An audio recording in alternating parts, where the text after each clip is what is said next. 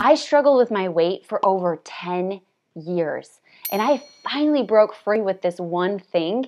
And now that I know it, I have to share with you, and hopefully, it can help you with your weight loss journey as well.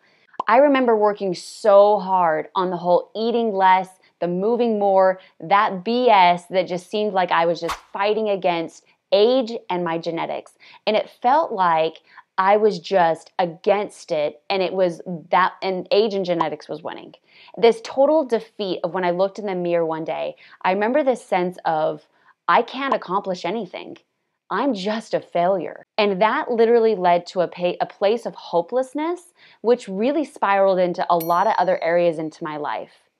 And it wasn't until I hired a coach, it gave me knowledge knowledge to give me some insight on what I was doing wrong, the difference between what a weight loss journey and a fat loss journey is, and how you can actually start gaining control of your metabolism again. So, making that jump of actually putting yourself as a priority again after feeling like you've been a failure and you can't accomplish anything, I know where you're feeling.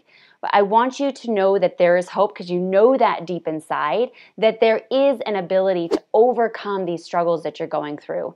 So if you're interested on finding out more about this, go ahead and comment I'm in and I'll reach out to you personally to be able to connect with you on what that is and how we can start to move past.